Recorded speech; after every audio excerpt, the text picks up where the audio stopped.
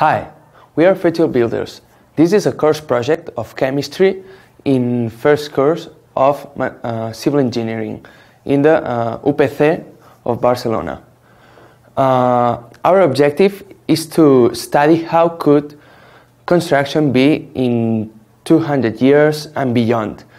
So to do this, we're focusing on three major uh, fields. The first one is nanotechnology. We think it's going to be the main uh, technological thing in the future. Then the Internet of Things, which is going to make it uh, all work together. And finally, multifunctionality, as we think materials are going to have more than one function and are going to do more than one thing at once. Hey, I am Nasir Suhail. I am with the group of my friends, so I am here to about uh, discuss about the nanotechnology. What is nanotechnology? To study an application of extremely small particles. This is what is nanotechnology. The size of nanotechnology is 0.1 nanometer to 100 nanometers. That is very small. So, application of nanotechnology is different field to achieve different substances with different functions.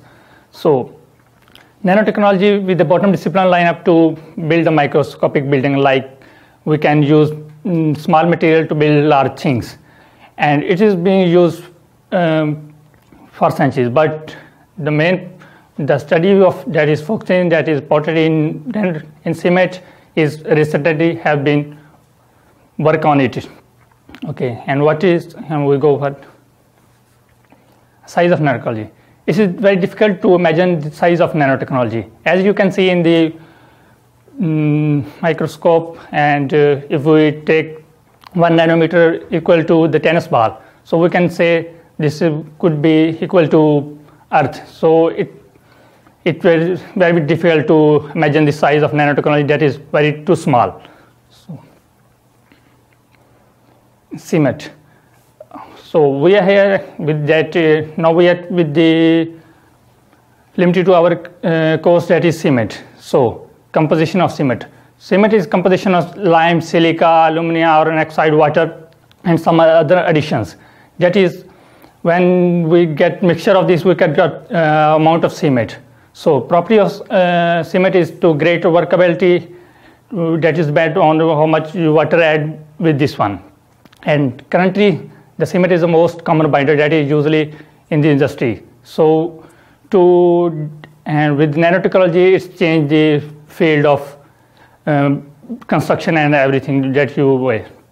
Okay, nanotechnology in cement. How we can use nanotechnology with the cement?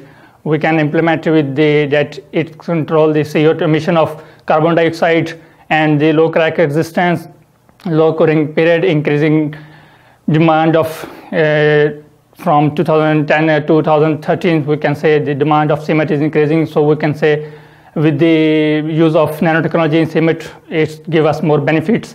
So it's also as low tensile strength compared to its compressive strength.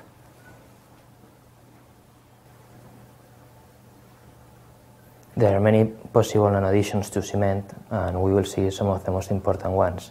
The first of them is carbon nanotubes which are allotropes of carbon with a cylindrical nanostructure, as you can see.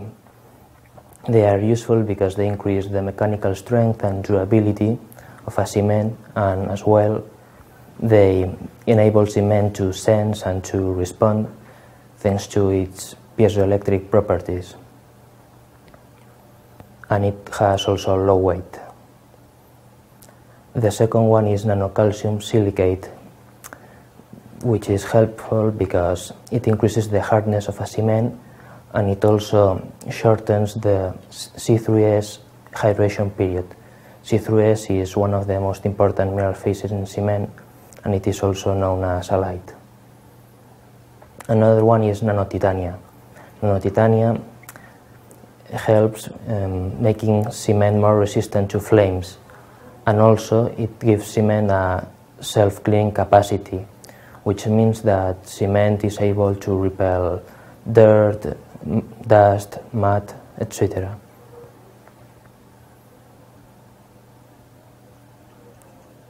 Nanosilica is is useful when added to a fiber, uh, fiber sheet to create a matrix. This matrix has strong bonds between the cement surface and the fiber reinforcement and it also helps to um, close small cracks on the surface as well as increasing the, the durability, hardness and reducing the CO2 emissions. And the last one is graphene. Graphene is going to be, without doubt, one of the most important materials in the future. That's why it's, it's interesting to explore its possibilities as an addition to cement. However, if we add graphene or graphene nanoplatelets to common cement, for example, Portland cement, uh, graphene breaks. That's why we, we, sh we should look for a different kind of cement, which is polymer cement, because polymer's properties prevent graphene from breaking. And as you may know, uh, cement with, with graphene is stronger and it, and it and the cement becomes also thermally and electrically conductive, which means that it is able to sense and therefore it can work as a sensor by itself. So the second topic we're focusing in is the Internet of Things. So what is the Internet of Things? It's a huge network of connected elements that can cooperate to serve a purpose. For example, alerting mechanisms, uh, monitoring, or controlling traffic, for, for instance. Uh, in this Internet of Things, we want to emphasize the importance of sensors and uh, specifically the part nanotechnology is going to uh, take in it. So we are assuming that most of the sensors are going to be made of nanotechnology as it was explained before. For example, graphene could be a sensor for lots of things. And then, last but not least, uh, the objective of Internet of Things is to make everything a bit like automatized. It's to make a big data of elements in order to make them work by themselves, like artificial intelligence. So, what could it be used for in civil engineering? Uh, using sensors, it could be used to monitor heat, uh, the absence or presence of cracks, to know if one structure is okay or not, also the strain and stress for the same reason. How could we do that? For example, uh, we could put the sensor in a bridge and if too much cars or trucks passed, the sensor would send would tell the computer, okay, there's too much weight, the bridge uh, is uh, is supporting too much stress. Uh, so then the computer would put a traffic light in red right before the bridge, so no more cars passed in, and then the bridge would be in better status. Also, it could be used to sense the fatigue of construction materials along the years, or um, another example could be to sense the dimensions of, for example, the the transport that passed through a road. Okay, now we are seeing the last topic we have to see about the future, multifunctionality. Multifunctionality is defined as the quality of possessing or carrying out several functions. In relation to civil engineering, this is relevant because a material can carry out a function that is a structure as well as a non-structural function. That is, for example, a material could self-damp, self-repair, or self-heat. These multifunctional materials are very related to smart objects. Okay, let's see one of the first applications of multifunctional materials, self-sensing, self-cleaning, and self-healing.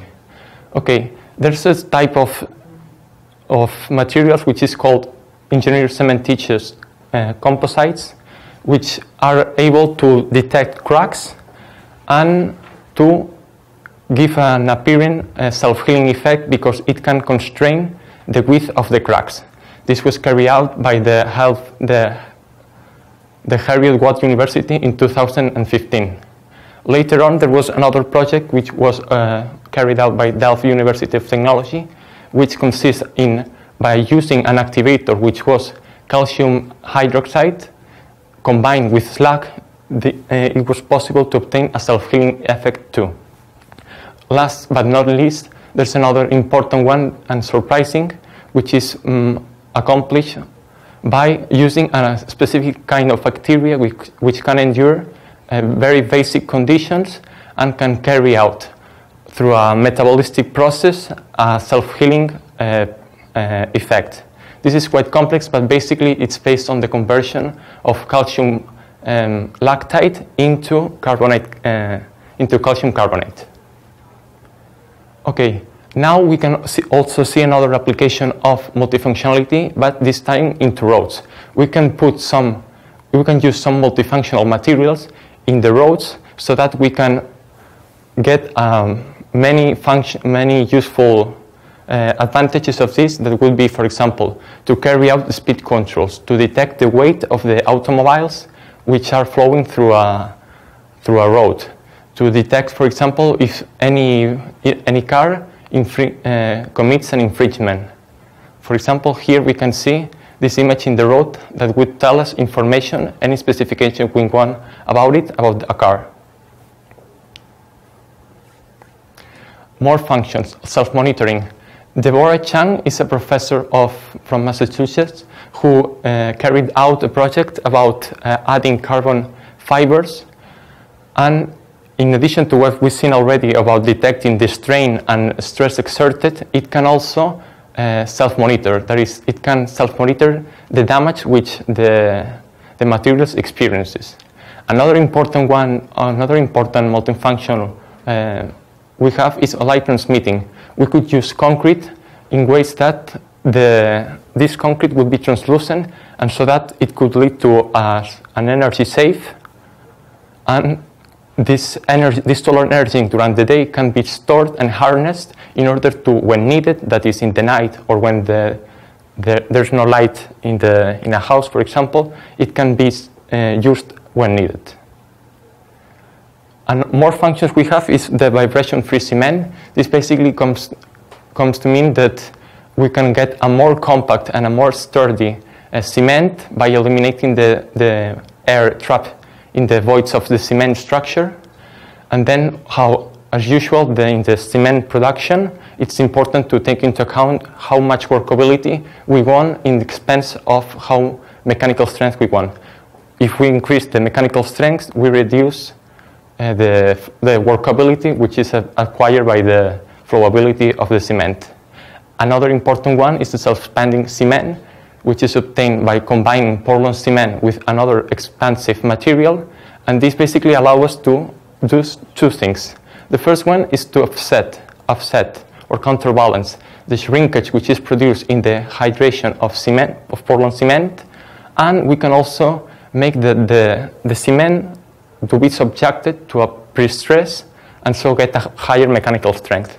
However, this is not all. It, this thing also has some drawbacks such as that it has a high cost because it's really, uh, really fragile, and then the, trans- the storage and the, and the transport it's very delicate.